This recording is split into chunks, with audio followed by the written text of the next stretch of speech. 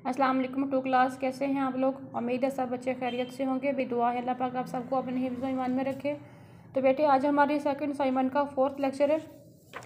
हम पढ़ रहे थे सबक हज़रत मोहम्मद सल्लल्लाहु अलैहि वसल्लम की सीरत तयबा।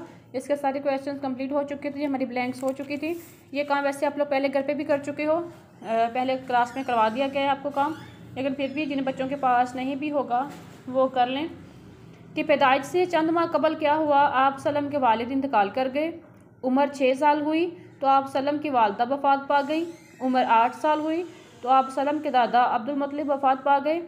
और उम्र चालीस साल हुई तो आप सलम को नबूवत अता की गई।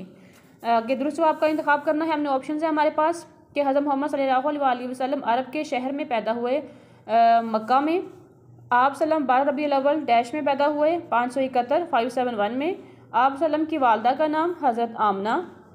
आप सलम की वालदा ने आपका नाम रखा अहमद। आपके दादा ने आपका नाम रखा मोहम्मद। आप सल्लल्लाहु अलैहि वसल्लम के दादा वफ़ात पा गए जब आपकी उम्र थी आठ साल। आप सलम के चचा डैश ने आप सलम की परवरिश की अबू तालिब ने। लोग आप सलम को कहने लगे, सादिक अमीन खूबसूरत अलिफ्लास बे, सादिक भी और अमीन भी।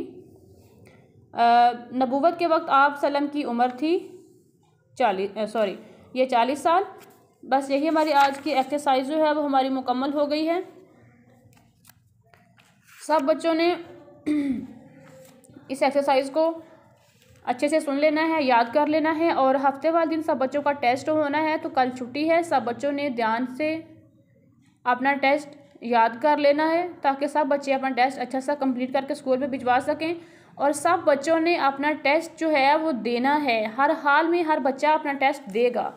तो ये जो टेस्ट के नंबर हैं, ये आप लोगों के अकाउंट होंगे आपके फाइनल एग्ज़ाम में। तो इसलिए कोई बच्चा भी अपने टेस्ट को मिस ना करे, हर बच्चा अपने टेस्ट कंप्लीट करे। इसके साथ सब बच्चों ने पाँच वक्त की नमाज़ लाजमी पढ़नी है। अपने मामा पापा का लाजमी कहना मानना है और अपना ख्याल रखना है। अल्लाह हाफिज़।